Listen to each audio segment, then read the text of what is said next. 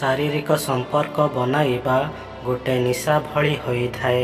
ଆପଣ ଯେତେ ବନାଇଥାନ୍ତି ଆପଣଙ୍କୁ ଏହା ସେତେ କମ୍ ଲାଗିଥାଏ ଓ ଆପଣ ଏହାର ଆଡ଼ିକ୍ଟେଡ଼୍ ହୋଇଯାଇଥାନ୍ତି।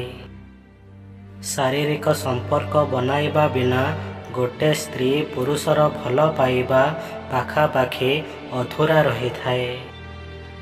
ଯଦି କିଛି ଭାଙ୍ଗିବାକୁ ଚାହୁଁଛନ୍ତି ତେବେ ରେକର୍ଡ ଭାଙ୍ଗନ୍ତୁ। କିନ୍ତୁ କାହା ବିଶ୍ୱାସ ଓ ଭରସାକୁ କେବେ ବି ଭାଙ୍ଗନ୍ତୁ ନାହିଁ। ଯିବାବାଲାକୁ ରାସ୍ତା ଦିଅନ୍ତୁ। ଯଦି ରାଣ ଦେଇ ଅଟକାଇବେ ତେବେ ସେ ଆପଣଙ୍କ ମୁଣ୍ଡ ଉପରେ ଚଢ଼ିବେ।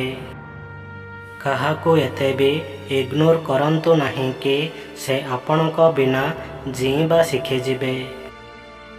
କିଛି ଲୋକ ବହୁତ ସୁନ୍ଦର ହୋଇଥାନ୍ତି କିନ୍ତୁ ମନ ହୃଦୟରୁ ନୁହେଁ କେବଳ ଚେହେରାରୁ।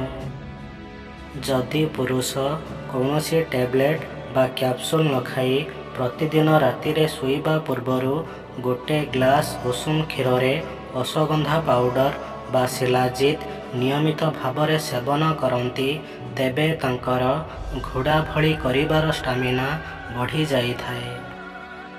ସମ୍ପର୍କକୁ ଚନ୍ଦନ ଭଳି ରଖିବା ଉଚିତ। ହୁଏତ ସମ୍ପର୍କ ହଜାରେ ଖଣ୍ଡ ହୋଇଯାଇପାରେ କିନ୍ତୁ ସୁଗନ୍ଧ ଯେମିତି ନଯାଏ